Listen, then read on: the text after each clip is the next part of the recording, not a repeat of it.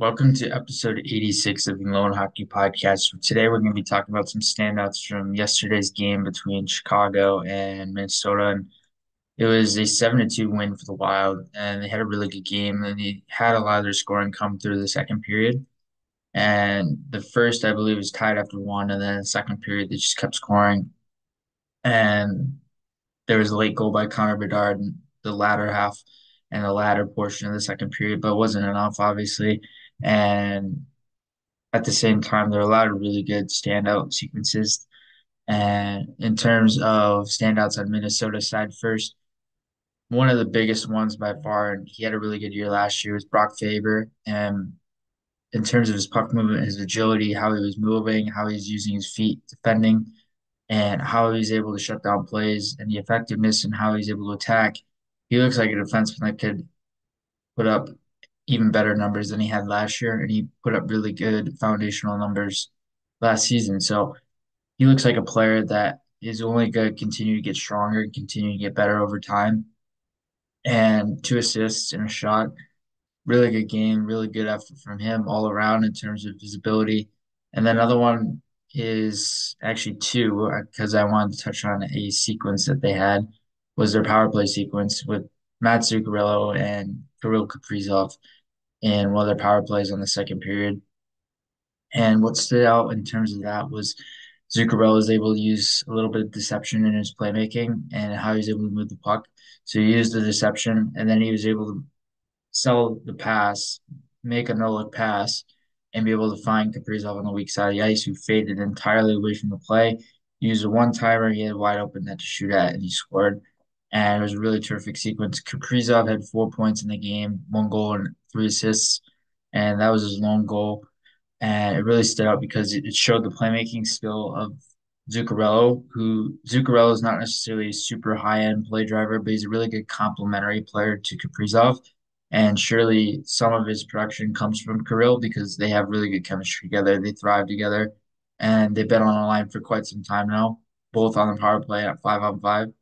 So he was a really big standout. Another one was Jacob Lauko or Jakub Lauko, and really showed good tenacity on the puck. He had an awkward hit in the middle portion of the game, but he showed really good compete, really good tenacity. He's been around a different few different teams now, but at the same time, he's been really good, and he was really good yesterday on the offensive side of the puck at being able to generate shots, generate volume, also generate quality. He had a goal, he had an assist, and he had four shots. So he was really standing out in terms of his offensive ability and also his defensive ability, his ability to check, ability to track back through the neutral zone, and ability to be engaged defensively in many different situations. And then a couple more. Joel Eriksson was really good. He scored one in this game, and then Jared Spurgeon was another two goals. And Jared Spurgeon looked really good. He looks healthy. He looks strong. He looks competitive, and he looks like him, his natural self. And one of the better defensemen in the league in terms of pure analytics. And in terms of the eye test, you don't necessarily notice him, but you notice the subtlety in his subtleties in his game. But when you really dive deeper in his game based on the data and what he's able to accomplish there, not only defensively but offensively as well at even strength, he's a very productive player. It's going to be interesting to see how he plays this season, how productive he can be, and how productive he can be heading into the future for the Wild as well. And a big part of their top four, a big part of their minute eating defenseman on the power play, PK, in many different situations. So Spurgeon's a very important component to the overall makeup of the Wild. Obviously, their captain at the same time, so he was really good. But showed some really good offensive skill, more noticeably than his defensive skill, which is quite ironic when talking about him. But he showed really good ability. And then for the Hawks, we'll talk about some. And Connor Bedard, none other, none other than him, was really good. And he looks really calm. I remember last preseason, preseason when he had the puck on his stick, he looked a little jittery at times. This preseason, and obviously he's already had a season under his belt, so it's much different. But he looks much calmer with the puck, and he looks like he's transporting it with not only pace, but with a lot more poise.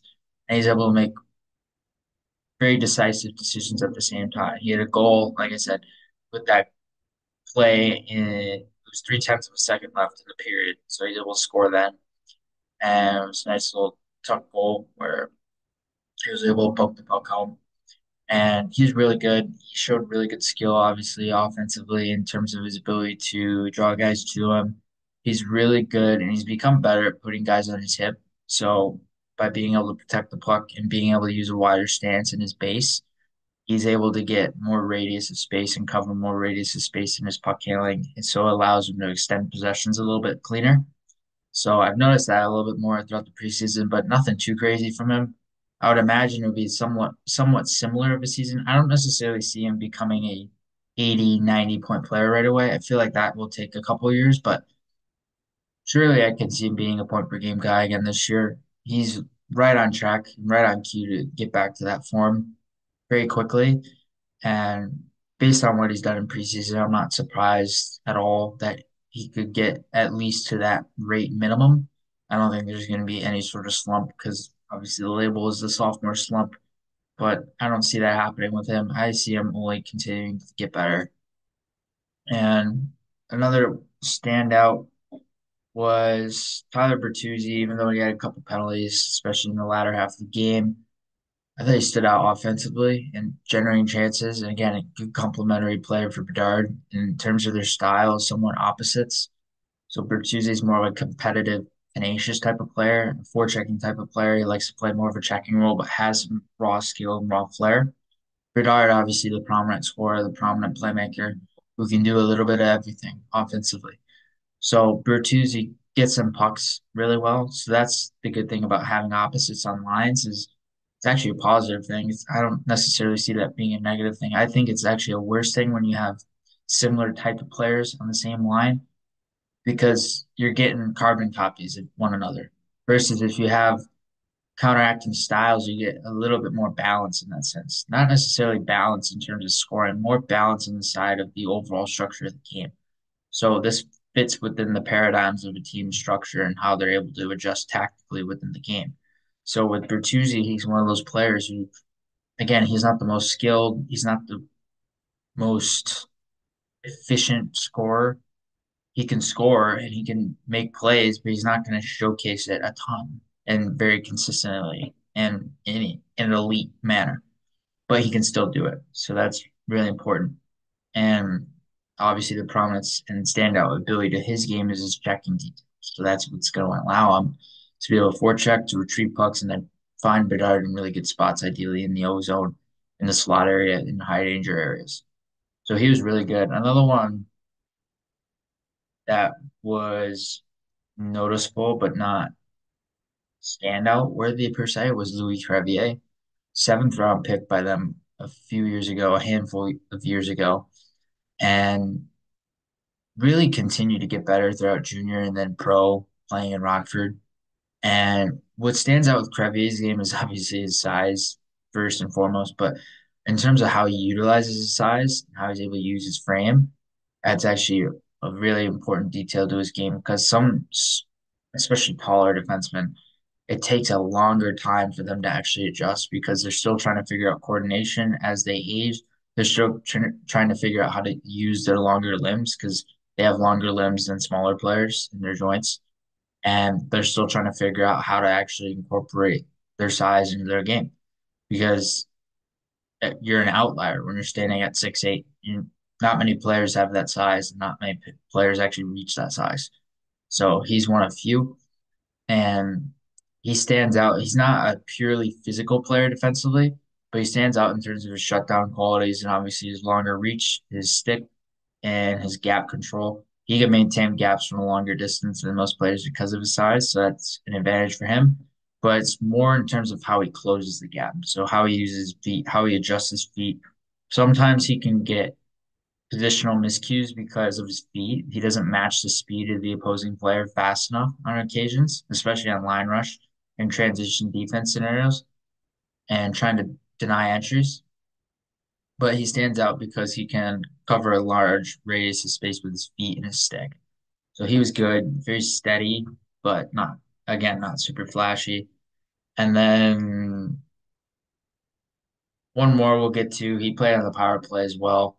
Outside of Taylor Hall, we've talked about Taylor Hall. I've liked him throughout the preseason thus far. I really believe if he stays healthy, he can be in for around a 50 point season. I don't see him being a 60, 70 point guy anymore, really. It's it's tough to imagine that, especially since he's really and mostly reliant on his playmaking. It's really hard to imagine him eclipsing 60, 70 points at this point in his career.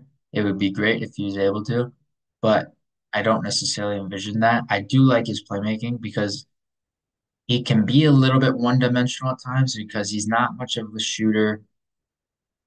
Sometimes you notice his checking details, but not a ton. You don't notice his defensive play at all.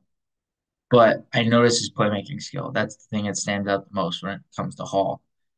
And how he's able to make plays, how he's able to make seam plays is really unique and really rare. That vision that he has is really rare and testament to why he's the first overall pick decades or not decades ago, a little over a decade ago, almost two. And